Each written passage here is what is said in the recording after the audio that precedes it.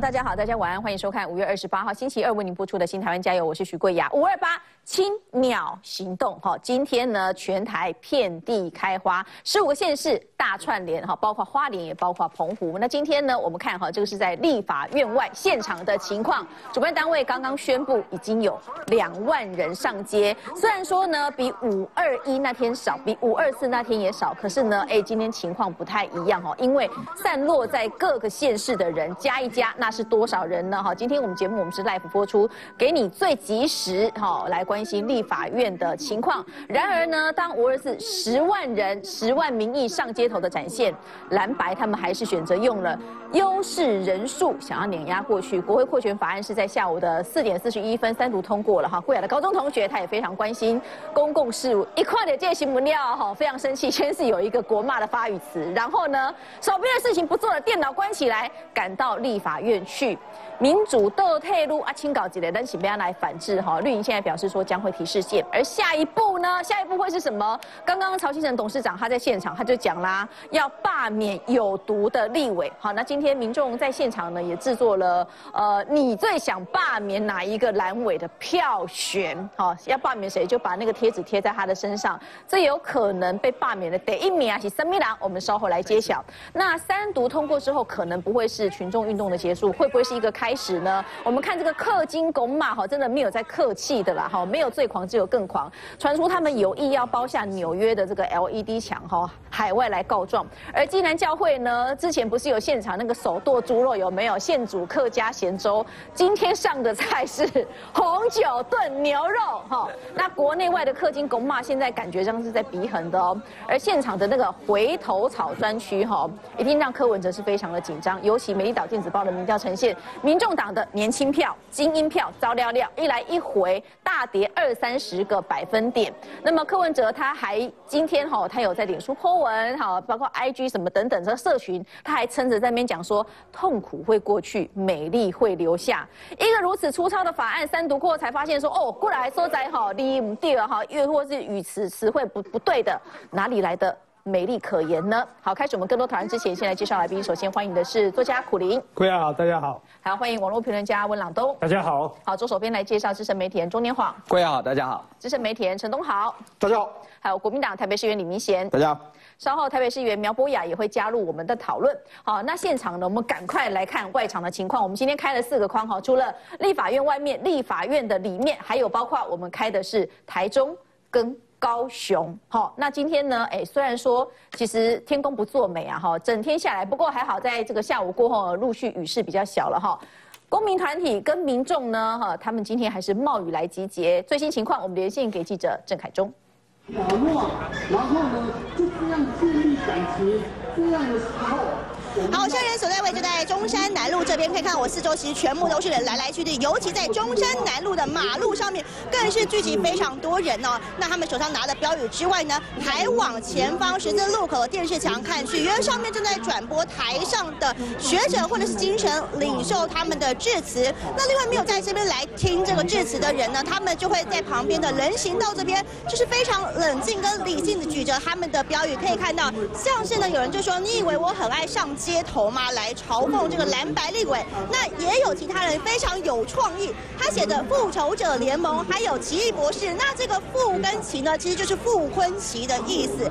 另外又拿出羽球拍跟网球拍，写说扩权法案不是改革。还有呢，做出一个青鸟，这是他们这次青鸟行动非常重要的一个代表 logo，上面写的反扩权、抗恶法，还有说我是被蓝白动员出来的。为什么会这样写？因为先前国民党跟这个民众党的柯文哲还有傅昆奇，不是都说。说这些人全都被民进党动员的吗？但是他们在表达他们是自己被蓝白动员出来的，以及这边还有非常有创意的人哦，他是用了这个韩国的图，然后还放了一个电灯泡，上面就写的是“望你虽伟国昌”。所以这边呢，他们其实都非常冷静，那是表达自己的诉求，就是要抗议蓝白坚持要来推国会扩权法。那其实，在中山南路这边，刚刚提到其实非常多人聚集在这边，但是他们也是很有秩序哦，想听上面的人这次的人就会停的，而且他们其实是有一些这个志工在现场管制，据，说不要在通道上面驻足，所以让大家其实是可以非常顺畅的想去哪里就去哪里。那今天稍早在近八点的时候，其实现场也喊出人数已经破了两万人。尽管在下午傍晚五点的时候呢，这个蓝白推的国会扩权法，也就是立院的职权行使法已经三读了，但是三读之后，在中山南路以及在晋南路上的人还是没有散去，而且看状况呢，越晚人是会越来越多，而且其实不只是现场的人越来越多之外，在这个群众里面非常多都是年轻面孔，他们都是自发性来到这边的。那等到之后呢，这个八八点之后，舞台上的精神领袖跟这个学者，他们就是已经致辞会来呃结束之后呢，他们这个主任单位也设计了一个桥段，就是会有投影，这个建筑投影会直接投影到群贤楼上面，那上面也会有标语来表达他们的诉求，就是反对这一次的这个扩权法。那稍后有最新状况，我们也持续在现场为你守候。好，我看到凯中站的位置哈是在青岛东跟中山南路的那个角落。对。但是你可以看到我们镜面上哈，这个虽然光呃灯光看着比较暗哈，可是你看到万头钻洞有没有？因为呢，很多人在这个差不多被下班的时阵，四点七十一分，哇，什么？啊，大概一个民情激愤了，那他还是一样照常的三读通过哈。哎，有很多人在下班之后，包括我的同学非常关心这个事情。得闹乖骂熊熊死去哈，立刻就要杀到这个现场来关注这个事情了哈。不过我刚刚知道说，哎，主办单位他其实是希望尽量可以安抚。呃，现场民众的情绪啦，哈，啊啊，麦秀激动这个样子。不过你可以看到，这就是公民力的展现，哈。那呃，焕哥，我们除了说，哎，今天呢有很多呃周边的哈，比方说那个青鸟行动，青鸟行动跟你共哈，那个鸟的位置方向要画对，飞错了你就到了这个西台湾去了，就不是去民主自由的世界了哈。没错。那我们从一个最新的东西来啊哈，因为四点四十一分过的。内容法条哈，就大家最最不能接受的那个立委职权行使法的部分，然后它就是国会扩权法案，可是它不是赶着要过吗？赶着要过的情况下，是不是的出包啊的包起来哈？我先简单讲一下，因为我想说，哎，这他们为什么三读的条文还可以再提文字修正？嗯，啊，三读不是就已经过关了吗？做文字修正。对哈，然后三读文字修正，他们要干嘛？嗯啊，新台币一万跟一万元。它的文字这些哈，瓜拱的西尊呐哈，就有一些这个字物呃的这个错误了哈。那再来呢，得处分什么什么处？什么叫得处分？处分是一个算动词吧？嗯，对。处分书啊，你是要送处分书，不是对不对？哈，古言的我赶快哈，后面方话他。把物件改成档档案，对，物件跟档案是一样的东西吗？当然是不一样的东西。我们一直在讲说，这个立法院职权行使法，它的立法品质相当的粗糙哈。嗯，那黄昌黄昌说没有粗糙嘛，国民党一直在辩护哈。但是呢，今天光是从这一个小小的细节就好，前面讲过我就不讲，我就讲今天三读的细节。立法院的三读只能做标点符号跟错别字的修正，还有就是说，万一你呃在三读的时候发现说，哎。可能规定有违宪的话可以修正，其他是不能修正。嗯，就今天在三读的时候，他出了犯了两个错误。第一个，要三读的时候呢，议事人员在读三，因为三读是这样子，就立法院职权行使法修修正草案哈，然后呃修正内容什么，然后议事人员全部把它念完之后，然后三读，在念的时候，所有的委员手上没有修正过的三读的文法律条文，完全没有。所以后来是民进党的立委提会议询问之后，韩国瑜主席才赶快去议事人赶快印，印完之后到手上呢，国民党丢出了这一份叫修正动议。好，大家看哦，这个修正动议哈，它盖的是党团的章，中国国民党立院党对，傅昆萁、洪孟凯签名。书记长，嗯，修正的内容呢，这个元哈，呃，在法律上用语是这样的，我们的法律有明文规定，呃，没有写新台币的元叫做银元。银元的币值是我们现在新台币的三倍，要乘以三，所以它这个它这个写新台币一万以上十万元以下之罚还，这个到底指的是银元还是新台币？说实在，我已经我也被他搞得有点乱了。嗯，啊，因为他没有写单位，对。然后呢，最夸张是这个，这个完全是置换概念，物件跟档案是两样不一样的东西。嗯，物件什么叫物件？比如说我的手机。这是一个物件，然后呢，我的 A4 的纸一叠或是一个电子档案，这个叫做档案，这两个是完全不一样的概念。你怎么删读还可以修正呢？嗯，就后来被民进党委员发现之后呢，国民党就呃很丢脸的又撤案了。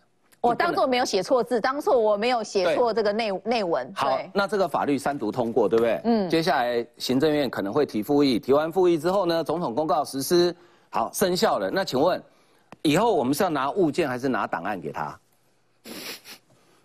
嗯，我们是要拿物件还是拿档案给他？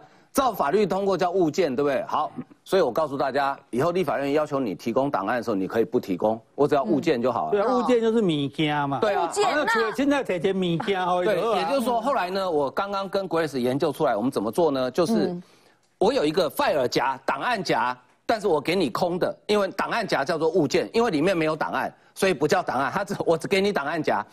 所以你你光从这一点点小小的，你就可以看出来这个立法品质有多么的粗糙。它粗糙到连三读都还可以再把物件改档案，这是完全是置换概念。好，这个法律公布之后会有几个问题。第一个很严重的问题是，立法院可以罚人民的行政罚款吗？为什么可以？不是这个不是法院的行政罚款，在中华民国的五权宪法里面，只有行政权跟司法权可以罚。那它都有救济的管道，比如说行政罚完，行政。行政权罚的，你可以打，可以诉愿，可以行政诉讼。对。那司法权罚的，你可以一审、二审、三审。好，好。那立法院在五权宪法的规范里面，它是没有权利去罚行政罚款。可是我请问大家，在今天通过的法律条文里面，它有没有讲是由谁来处罚？完全没有，它只告诉你说我要罚多少钱。嗯。但是没有讲。主这个法律的主管机关是谁？因为我们的任何一个法律一定有它的主管机关，它的主管机关如果是立法院的话，好，像问题来了，那以后请问罚款是要交给立法院吗？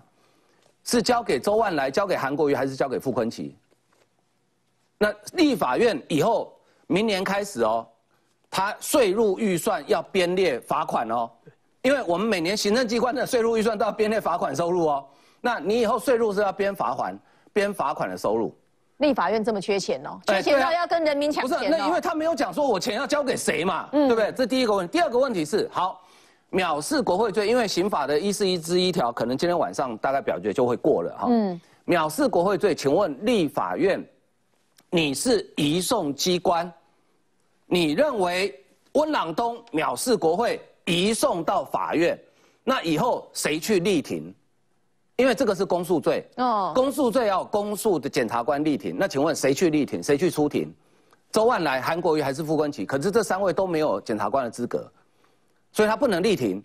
那你要再找一个公诉检察官。好，那如果最后的结果是法院认为说，哎，这个无罪啊，温朗东很有礼貌啊，他没有藐视国会啊，判无罪，那温朗东可不可以去告立法院诬告罪？可以啊。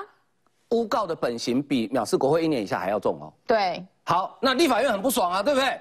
哦，你这里花光苦林，你这里花光，你刚破国罪，你又藐视成立调查小组，苦林过来藐视国会，真是没完没了啊！这不是进入一个无限的回圈吗？对，所以你说这个藐视国会罪，它荒不荒谬？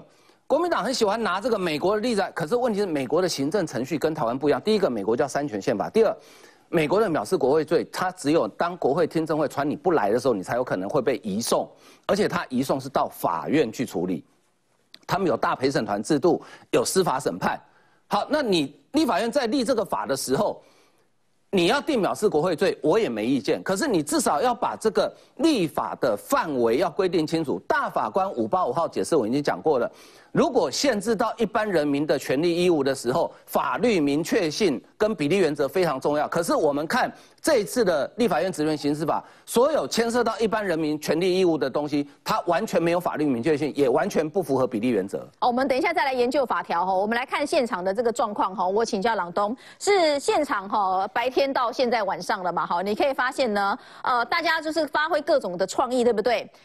藐视人民，该当何罪？对啊，啊！你现在为什么国会可以这个样子，可以滥权到这个程度哈？那最多人哈 P 图或者说哭手的对象，或者是说要消 Ken 的对象哈，就是黄国昌了哈。那这边是我是花莲人，我藐视国会。好，再来我们来看这个，他说高雄台北来回一张票多少钱？一四九零，对不对？对。好，来回二九八零，但是自由民主单程票无价。哦，这边呢？我喜欢 say 什么啊？什么花瓶啊？不是，它是要呈现一个红葱头，红葱头 然后呢，这边啊，阿嬷冰箱的葱烂掉了，哦，就都是在哭手黄国昌。今天下雨耶，而且呢，一度我们看哈，从新闻上你看到全台各地有一些雨势，其实都造成有那个积淹水的情况嘛。这些人，你家的和当地这么辛苦，又闷热又什么的，还是愿意站出来，你觉得为什么？啊，我觉得最简单的就是因为他们受到黄国昌的召唤啊，哦，因为这几次呢就到现场，大家有非常多的这个创意推陈出新，当然是我这两天都在认真的恶补 AI 的音乐创作软体，因为你充实表 不是在。在练歌，你是要创作歌曲、哦。没错没错，因为你只要自己会填词，其实你把它放进去之后，全曲风之后，歌就会弄出来没。错那里面有个技巧是，那个歌呢会有呢粤语呢跟华语呢这个交杂在一起，所以我在努力的克服这个问题。那大家可以看得出来是说，其实完全不是任何动员啊，而是整个新时代从太阳花到这一次的这个新的青鸟运动的一个时代，一起站出来对国民党蓝白产生不满。我在翠上面看到过过去很多对蓝绿都有不满，可能勉强会投给民进党的人，他这次出来直接讲说蓝白不倒，台湾不会好，他变得很坚定的知道是说蓝营跟白营就在国会里面搞乱，在恶搞台湾。刚刚的晃哥哦讲到说。这个这个改这个文件的事情嘛，嗯，就是物件呃临时把它修改成档档案。案。我特别去搜寻了一下之后，发现是说物件确实在《人民日报》过去里面就讲到说，这三类人将是重点团结物件。对中对。中国的用中语叫物国的用件，语其实我我有点怀疑台湾的物件的定义是什么？物件的定义，我们认知的物件就是那物件啊，对啊，这最嘛这物件台嘛，湾一般会用这算不算物件我们件？台湾一般会用物品，不会用物件。对啊，这不是台湾我们因为物件的确是中国的用法。对，因为物件一般是城市设计语言里面会有物件导向的那个物件，那一般生活中不会用这个词。可是呢，在中国另外一个哦征集革命物件、走访抗战老老兵啊，去湖南革命的这个通知等等，那这个物件是什么？其实就是米家，就是东西。对于中国来讲，就是物件泛称所有的资料。东西哦，实体的或是抽象的这个物品，他们都会用物件这个词。嗯，因此一开始的版本为什么这个很可能一开始在蓝白他们的立院助理里面就有中国的人士，或者中国直接下指导棋，给他们那个范本之后，他们拿这个去弄，然后因为也没有经过委员会去审议嘛，没有实质上就算没有下指导期，显然他们参考资料，他们的那个就乱来参考乱用范本，，这设计才会有问题，才有说什么啊，请律师还要经过主席韩国瑜同意才有办法去请律师，这种很荒谬的一个状况。所以我认为是说这次这场运动的话呢，在目前呢，呃，最新的美丽岛民调当中哦，也看到一个很有意思的这个数据。这个数据是什么呢？在民进党哦，几乎在每一个年龄层，从四月跟五月对比，支持度就上升了七点三八、三点四趴，上升最多的有两个，第一个是四十到四十九岁，上升了十趴；五十到呃六十到六十九上升了十二点五趴。然后呢，国民党严重的减损，特别是在四十到四十九岁跟六十到六十九岁这边，也就是所谓的壮年哦，以及呢这个呃目中产阶级的一个世代是严重的减损。那为什么？因为很多人过去哦，他投给蓝白是觉得是说他会在民生法案上有建树，但这个事件就看得出来是说他们最在意的，从夏立言去中国，马英九去中国，再加上说傅昆萁去中国，他们是聆听中国的旨意之后，按照中国指示去搞烂台湾。这一点，就算这次他们硬是硬闯过关，三读通过之后，还是会对所有台湾的民众留下非常深刻的印象。而这股能量将会持续到明年、后年。国民党如果不能够摆脱中国的一个枷锁跟控制的话，我认为他们失去的民心，并不会因为时间因素就会回来。哎，失去民心很重要。刚刚朗东简单的分析了有关呃民调的数字哈，那个涨跌，那个消涨就 c boy 哦，不是一趴两趴，哎，来来回回这样是二三十而且那是趴的差二十二、二。十三的哦，对啊，还不是没有到现在对对哈，还现在还在持续在酝酿中哈。那我们先休息一下，稍后我们持续来看。你徐小新、大米就配、抵押箱啊，在那边举手，到底这个法案他们有没有用心？粗糙的程度，我们等一下继续剖析。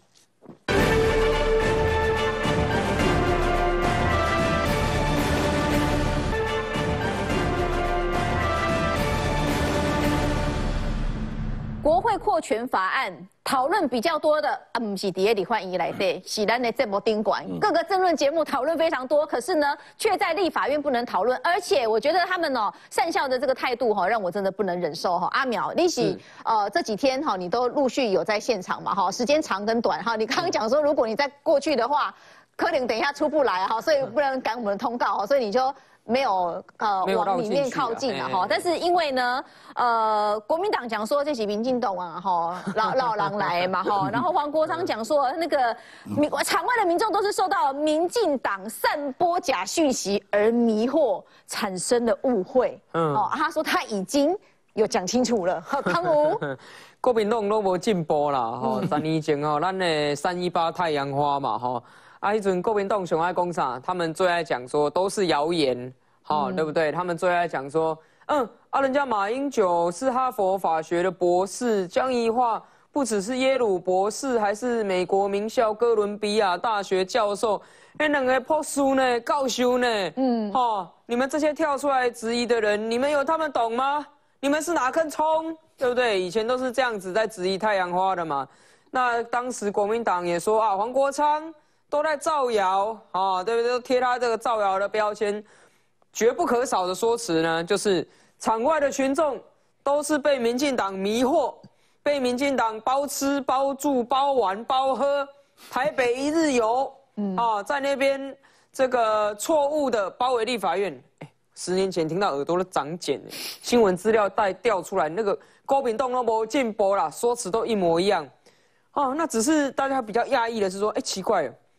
十年前被说是造谣者的黄国昌，嗯，十年前被说是他被民进党煽动，所以才攻进立法院的黄国昌，今天呢摇身一变，好似川剧变脸似的，十年下来哇，变成国民党的脸。他今天讲的是什么？他今天讲的不就是他以前被国民党骂的台词吗？对，哦，场外的民间团体和学生是听了民进党的谣言，好，我们已经非常负责任的交代，我就问。恶毒的所有过程里面，黄国昌有没有曾经一次站上发言台为他的最高机密版辩护？阿淼比较拍谁哈？因为时间关系，我们先进广告回来，让阿淼来继续论述。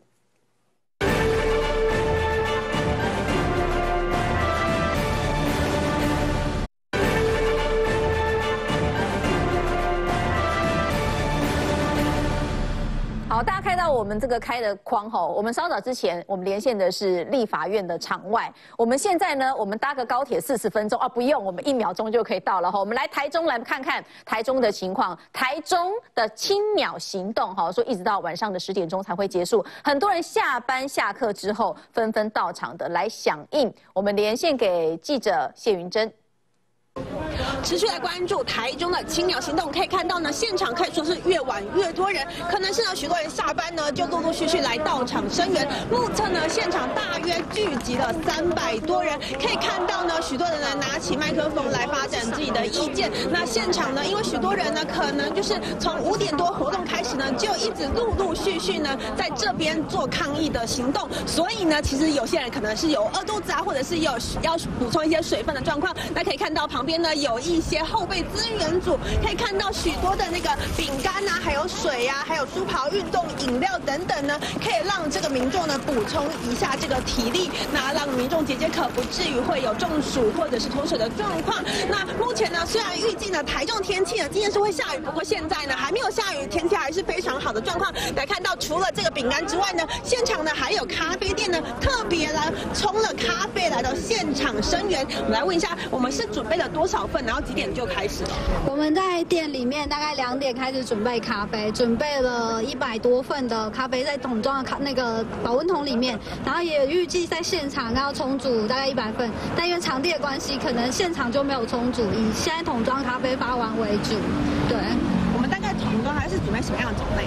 都呃都是美式咖啡，那呃因为就是考量到大家比较方便饮用，因为可能会如果准备了其他的，比如说拿铁，会怕大家可能会有呃饮食的疑虑之类的，所以都是准备美式，然后也有准备绿挂式咖啡，可以让大家带回去充足这样子。为什么今天想来做这个咖啡，就是声援这个活动？因为呃我们其其实我们上礼拜都有去台北，然后这个礼拜因为没办法再上台北了，然后刚好有这个活动，我们想要一起来参加，所以我觉得每个人都可以用他自己的方式去应援这个这个活动。那我就是用我自己的资源的话，就是拿咖啡来请大家喝。对，嗯，咖啡店呢也来声援这场活动，用自己呢所有店里的资源来声援。那可以看到呢，目前的咖啡也快被拿光了。不过呢，就算这个咖啡拿光之后呢，这个咖啡店的这些成员呢，还是会依序留在现场，等到这个十点活动结束之后呢，一起跟现场的民众一起撤离。以上现场最新的情况，先将时间镜头交还棚内。真的是台湾人可爱收窄哈，有钱出钱，有力出力，有时间出时间，对不对？好，大家都要展现自己的那个意志。来看哈，刚刚看到那个台中有人就是呃，可能啊咖啡啊、小点心啊等等的哈，让民众哈哎可能下班啊北户买米家可以来补充体力哈。那我看到在立法院周边呢，有人哈一到来一百颗包子哦，就是要帮帮你补充体力。我们看看哈，今天呢那个氪金不一定是公骂好，因为呢年龄层下降中，而且我看到有一个呃非常。有意思的是，Manga 还有我觉得嘎纳那个商圈，嗯，那个商圈的呃店家哈，他们就是各式各样的店家集合，起码有十个店家来干嘛呢？哎，我不管是饮料啦、lobby 呀，哈，还有一个凉粉博哈，呃，捐这个凉粉呐，哈，那还有刚刚晃哥说客家人最喜欢的超阿贵哦，毛囊赞州九份金矿博物馆赞州超阿贵，好，还有这个哦咸派哈西式的，不管中式西式的都有。现场的一个最吸引我的画面是什么？是那个红酒炖牛肉。现场的牛会给你那行诶，古巴厉害不？厉害不？就在济南教会。以吃的方面，台北场全胜，台中、高雄场加油，加油哈，对不对？差很多。那今天跟大家讲哈，十五个县市的串联呐。各个地方哈，台北新竹市，新竹市据说会有那个之前很红那个提款机啊，对，他他会去那边哈，到那边哎，如果也想要试试看那个提款机的感受的话，你买一档 cosplay 哈，苗栗哦，你的家乡哈，家乡在这里这么蓝，嗯，这里这么蓝，但是选择站出来哈，彰化云林哈，配偶离岛不落人后，还有屏东。呃，新竹县啊，宜兰、台中，我们刚连线过了哈。南投、花莲、花莲、南投哈，嘉义、台南、高雄，高雄的场地有换，因为换一个空间更大的拉巴队哈，凹子底公园。那阿淼刚刚讲到的是哈，黄国昌哦，你不是一度要模仿他的语气？没有，他就是讲说大家都是被煽动嘛。对，我觉得今天傅昆奇还是国民党任何一个谁都可以讲这个，反正这是国民党固定台词。嗯。但是唯独黄国昌他最不适合讲这个，因为他过去就是这个被视为群众抗议的领袖嘛。对。那如果群众是因为造谣所以才上街头，难道十年前他都在造谣吗？为什么他今日可以如此贬低在外面的群众？我非常怀疑说他从街头运动攫取了这么大的政治能量之后，现在竟然反过来贬低上街头民众，说你们都是被骗了。